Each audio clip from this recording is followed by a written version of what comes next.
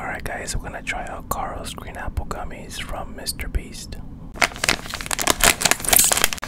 You can smell the green apple right away. Really good.